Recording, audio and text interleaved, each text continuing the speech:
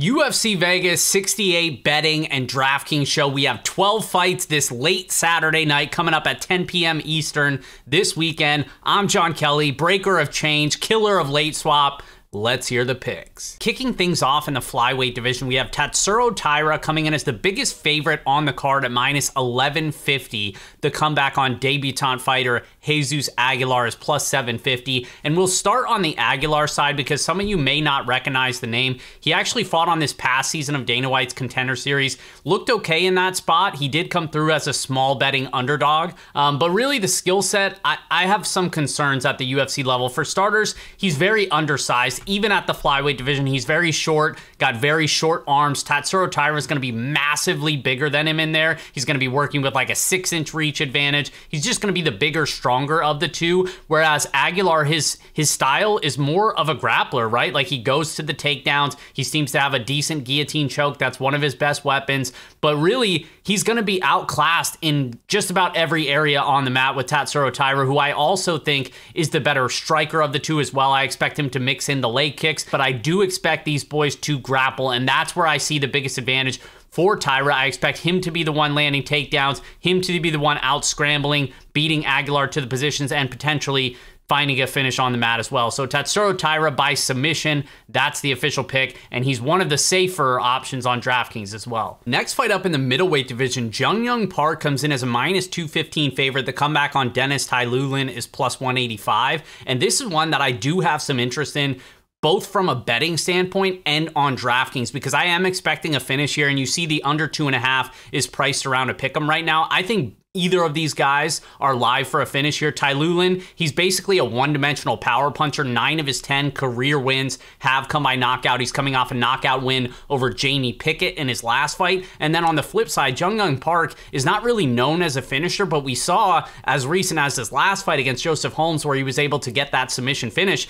He is capable of doing that when he has a grappling advantage. And that's what I expect here. You know, Jun Yong Park's a very well-rounded fighter, decent pace on the feet, but he's able to mix in those takedowns. He averages over two takedowns per 15 minutes. And Tiuliulin historically cannot defend takedowns very well, and he can be out grappled. We've seen that across his career on the regional scene. He's been submitted in three of his six professional losses. So it's just one where if Tiuliulin wins, it probably comes from him clipping Park early and getting him out of there. And if Park wins, I think it comes from heavy grappling, where I think he'll have at least an opportunity or two to pull off a finish on the mat. So give me Park by submission. That's the official pick. I like the unders here, so I'm going to have exposure to both sides on DraftKings. Which brings us to our next fight as Ji Yeon Kim comes in as a minus 275 favorite. The comeback on Mandy Bohm is plus 230. And for starters, I'm not sure that Ji Yeon Kim should be this big of a favorite against almost anybody in the UFC, so I'm not going to fault anyone for taking the dog shot on Mandy Bohm. The reason why I'm not personally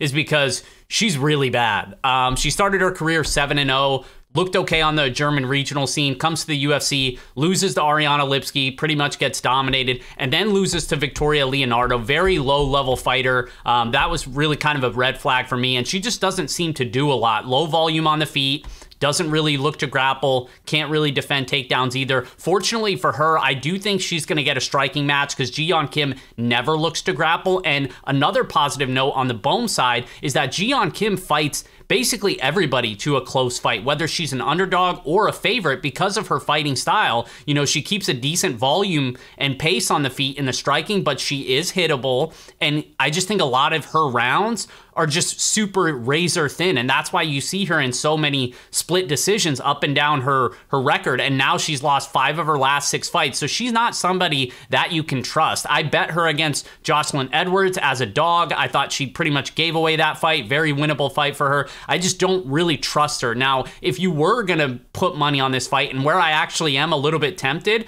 you know my head is telling me pass. I don't want any part of this. But my heart is telling me Ji Yeon Kim is the more skilled fighter and really should win rounds here against Mandy Bohm. The decision prop on FanDuel is minus 120 relative to DraftKings, which is minus 150. So a little bit of line value there. You're basically just turning Kim, who's a chalky favorite, and getting her at almost a pick because I would be surprised if she finishes here. She's not known as a finisher. Mandy Bohm's never been finisher in her career. So I think if you are going to have action. I think that would be be the way to do it. Kim by decision. In terms of DraftKings, I have zero interest in Ji-yeon Kim, even in a win, even if she convincingly wins, which she never basically does. But even in that scenario, she's not paying off a 9K price tag. I have a hard time seeing how she has any sort of ceiling at that price. Whereas on the flip side, Mandy Bohm, she just needs to win. You know, this is a card where we don't have a lot of standout value. If Mandy Bohm just wins and doesn't score great, but puts up like 70 points in a striking based decision, that might be enough at 7,200, assuming none of those other cheap underdogs come through. So, in terms of DraftKings, I'll have zero Ji-yeon Kim, but I will have some exposure to Bohm as a cheap underdog that just needs to win in order to be relevant for this slate. And up next, we have the first of four Road to UFC finals here. That's why this card is so late. It's catering to the Asian market, and we have four of these Road to UFC tournament finals on this card. So I understand a lot of people aren't going to recognize these names. I honestly didn't recognize a lot of these names either, but I have dug into the tape, did some research on these guys. Not quite as much as I would for Dana White Contender Series, just because there's a little bit less footage to go off of, at least for me. But I do think there is the potential for an edge this week, and especially when it comes to DraftKings, because there are so many unknowns on a lot of these fighters. So let's get into it. The first one's in the flyweight division. Hyung Sung Park comes in as a minus 190 favorite. The comeback on Seung Guk Choi is plus 160. And we'll start on the Park side. He's a 7 0 prospect. Six of his seven wins have come inside the distance. Most of those have been inside the first round, including his fight on road to UFC. And he seems to be kind of awkward on the feet, but the natural athleticism and power is certainly clear. And most of his fights, he's kind of just, you know, lacking technique, but really just kind of manhandling his opponents and big brothering them until he puts them in bad spots on the mat and gets them out of there. On the flip side, Seung Guk Choi, I think, is a more well rounded fighter to start out with. Now, he is going to be a little bit undersized in terms of how big Park is here. So there could just be a, a real noticeable athleticism gap here and, and strength gap. So we'll have to keep an eye on weigh ins. But I do actually think Choi is the more well rounded of the two. I think he's a better overall striker, more diverse striker, has a lot more weapons. I expect him to just be the more active of the two. And Choi has also shown the ability to go for takedowns himself. He landed multiple takedowns in his last fight, three of them, I believe and he did go to decision in both of those fights. So I think if if he can survive the early onslaught from Park here, and this does go the full 15 minutes, I think there's a case for Choi to be the more active of the two, considering Park's cardio is pretty much unproven. And I just expect Choi to be doing more as the fight goes on, potentially take over late. So we're actually going to go with the dog here. Choi by decision is the official pick. Which brings us to our next fight in the bantamweight division as Rinya Nakamura comes in as a minus 425 favorite. The comeback on Toshiomi Kazama is plus 340. And this is another one where Nakamura is very inexperienced, only six professional fights, but four of which have come inside the distance. He ended both of his road to UFC bouts inside the first round. I think the strength, the power is clearly there. Another guy that kind of lacks the technical ability, but does have raw power, raw strength, raw skill. And you see him swinging wildly. If he's able to connect, the power is certainly there. So he does have knockout upside. He has shown the ability to land takedowns as well, very aggressive on the mat. Now he's going to be facing a guy in Kazama who's kind of a specialist. This guy's known as a grappler, only had one road to UFC fight, did win a decision as an underdog there. Now, his wrestling is not very good and he's not super aggressive in getting the fight to the mat, but if he is able to get it to the mat, the grappling is good. He's a former IBJJF Asian Open winner as a purple belt. He now holds a brown belt in Brazilian Jiu Jitsu. He does have some capable submissions off his back. So there is some reason to be concerned with Nakamura, an inexperienced power front running guy as a big favorite here. I think in terms of DraftKings, this is the one that I'm really keying in on as one that I want to be overexposed to because I think Nakamura has early knockout upside and Kazama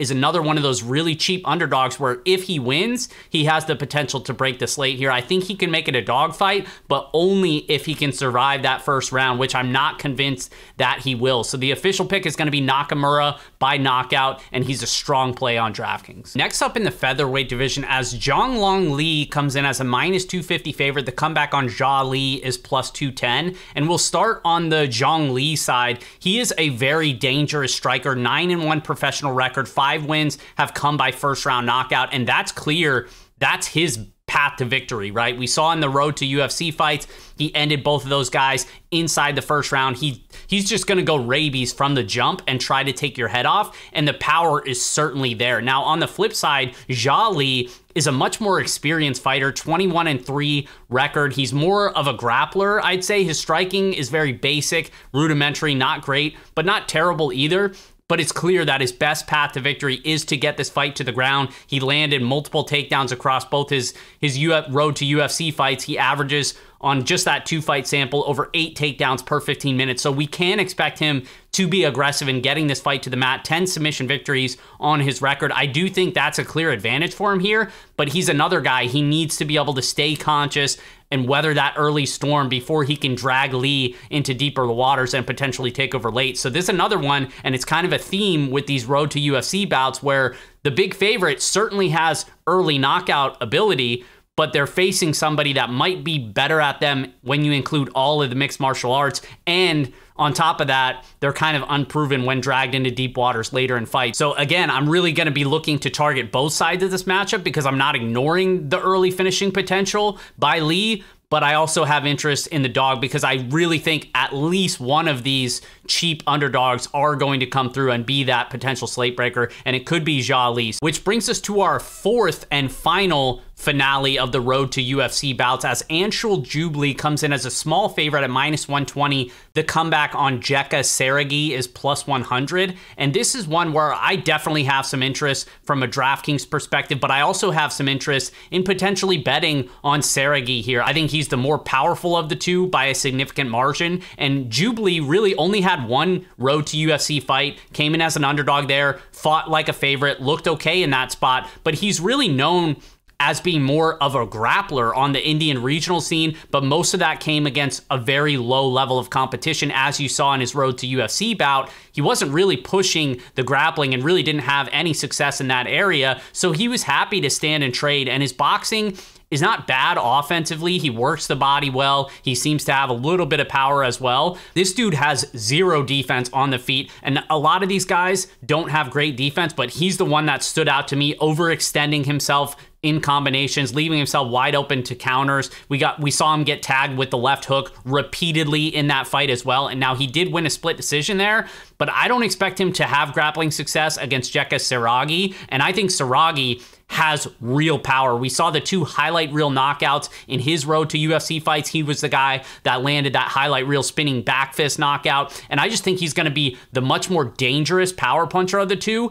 And while he's reckless, I think he's just a little bit sharper, at least defensively, in terms of the striking than Jubli. So I think Jubli's going to eat a lot of big shots here, and I think he's potentially going to sleep. So give me Jeka Saragih by knockout. That's the official pick. Which brings us to the first fight on the main card as Yusaku Kinoshita comes in as a minus 325 favorite. The comeback on Adam Fugit is plus 270. And Kinoshita is a guy who fought on this past season of Dana White Contender Series. And I had some questions about him going into that spot. I believe I actually bet on the bigger Henrique in that spot. And it ended up going poorly for me um, because Kinoshita won by third round knockout there. And it's clear he does have power. You know, he's ended most of his fights inside the first round. I believe it's five of his seven wins have come by knockout, majority of which have come early. But coming into that fight, like he had never fought anybody really worth anything on the Japanese regional scene. I, I, remember when I initially did research on him, he had never fought anybody under like 38 years old or something crazy like that. And his last fight prior to Contender Series came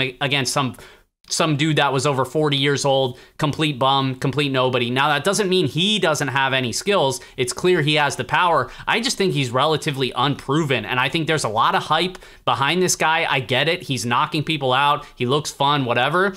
But I think Adam Fugit is being slept on in terms of the betting market here. Fugit's a guy who historically has kind of always been counted out and been an underdog. Came in over an LFA, short notice, knocked out Solomon Renfro, another guy who had a lot of hype behind him. Didn't end up panning out being as good as quite some people thought, but it was still a big win for Fugit and one of his best across his career. But the kid's very well rounded. We saw him make his UFC debut on short notice against Michael Morales, where again, people were counting him out. He gave a pretty decent account of himself, even landed a takedown there, one of eight on takedowns. He does come from a high school wrestling background, holds a brown belt in Brazilian Jiu Jitsu, and he comes from a Muay Thai striking background, and he's going to be working with a six inch reach advantage. So he's going to be the longer of the two. I think he's the more well rounded of the two, and I actually think there's a clear grappling path to victory for him here. Kinoshita's gra- de- defensive grappling and cardio is pretty much completely untested. I think there's clearly a world where Fugit can land multiple takedowns here and, and really test Kinoshita like we haven't seen him tested. Now,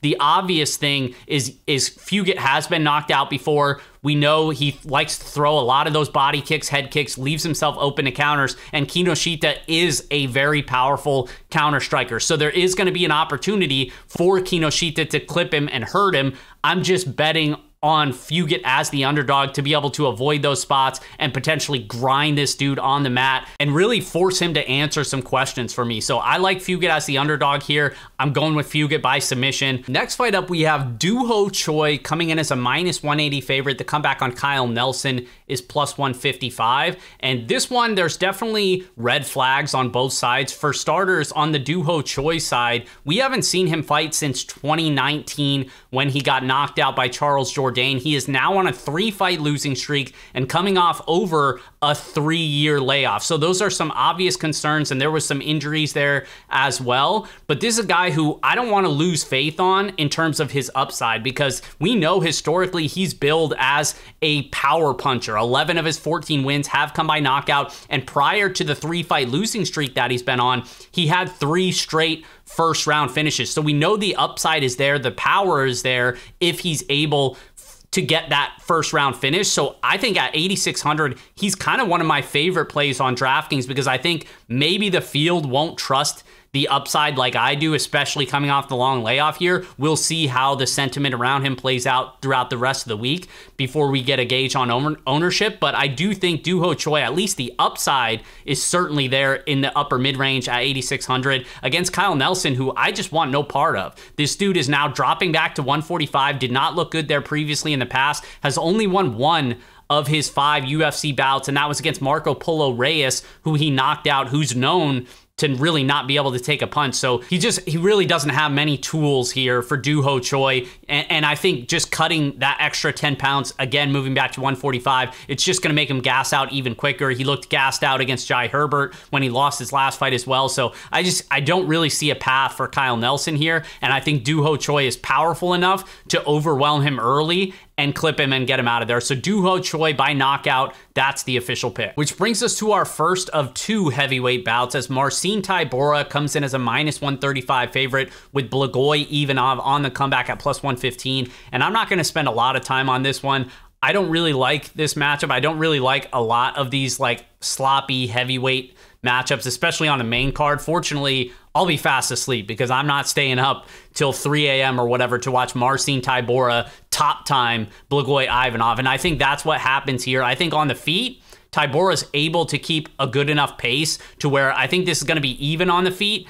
And Ivanov just never really impresses me. You know, the gas tank, I think, favors Tybura. Uh, the durability probably favors Ivanov, but I just expect there to be a grappling edge here. Tybura averages around one and a half takedowns per 15 minutes. I expect him to mix in the grappling here, and that's where I think he can swing rounds is with takedowns, with top time. So I got Marcin Tybura winning a decision here. Not a ton of interest on DraftKings because I mentioned a lot of fights already where I think a finish is pretty likely, and I'm just going to look to target those. Whereas this one I think is going to be a boring, sloppy heavyweight decision. Which brings us to the co-main event as Da Un Jung comes in as a minus 240 favorite. The comeback on Devin Clark is plus 200, and I favor Da Jung here. I think he's going to have a clear striking advantage, a clear power advantage. 11 of his 14 wins have come by knockout. He's known as a power puncher, and he keeps a decent pace on the feet as well.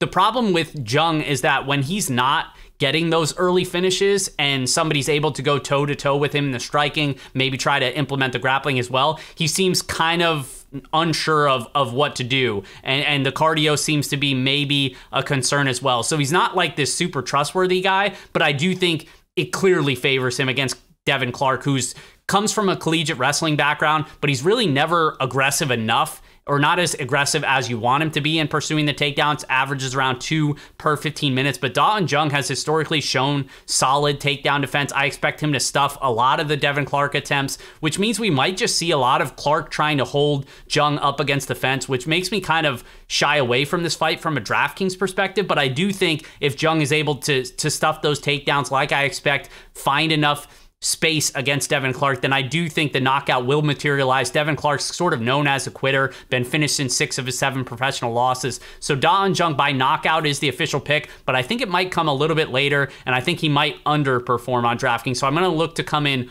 underweight to the field in this one. Which brings us to our heavyweight main event as Sergey Spivak, the polar bear, comes in as a minus 230 favorite. The comeback on Derrick the Black Beast Lewis is plus 195. And this is one where I definitely have more interest than the Tybura heavyweight fight that we talked about earlier because this one I think a finish is super likely, really on both sides. Because obviously, Derrick Lewis, nobody's going to underrate the punching power. Most knockouts in UFC history, he really just has that kill shot against anybody. He's able to find that. Now, Sergey Spivak is a guy who has won five of his last six fights. He's been pretty impressive. His striking is not great, but it's serviceable enough to maintain distance before he closes in and goes to the takedowns, implements the grappling, where I think he has a clear advantage over a lot of people in this division, including Derrick Lewis himself, who, yes, he's been able to just power up and get up when other guys have taken him down in the past, and maybe he's able to do that once or twice here. But I just think the pace and the relentless pressure of Sergey Spivak is going to be the difference here